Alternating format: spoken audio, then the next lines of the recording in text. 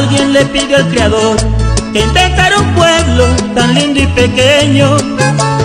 Alguien le supo decir que habría una princesa que no tendría dueño.